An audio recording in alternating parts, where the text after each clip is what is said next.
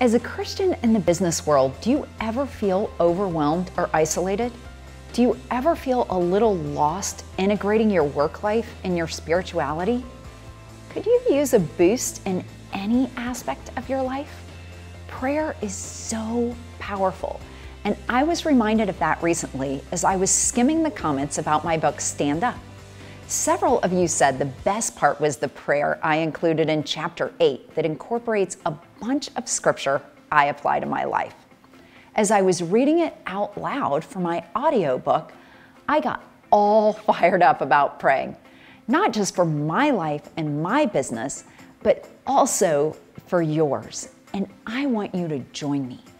There is strength in numbers and power in God's Word. So I'd like to challenge you to join me for 30 or 90 days in a stand up prayer challenge. Every day, I'll deliver a scripture based prayer by video on a different aspect of business or life for you to agree with for your own life or work, or share with others who may need some oomph in their own prayer life or spiritual battle. I'm basing this on Ephesians 6 10 through 18. I love the message paraphrase, and I'm going to share that with you now.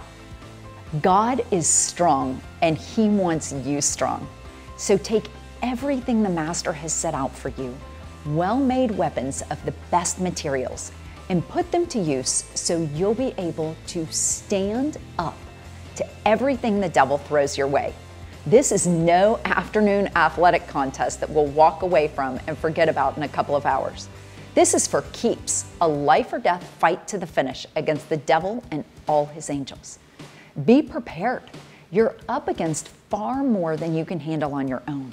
Take all the help you can get, every weapon God has issued, so that when it's all over but the shouting, you'll still be on your feet. Truth, righteousness, peace, faith, and salvation are more than words. Learn how to apply them You'll need them throughout your life. God's Word is an indispensable weapon. In the same way, prayer is essential in this ongoing warfare. Pray hard and long. Pray for your brothers and sisters. Keep your eyes open. Keep each other's spirits up so that no one falls behind or drops out. Isn't that scripture great? You heard it straight from God's Word. We must pray to stand up so, will you join me for 30 days, or better yet, 90? You can find all the details on renebanglesdorf.com or in our Facebook group called Stand Up Challenge.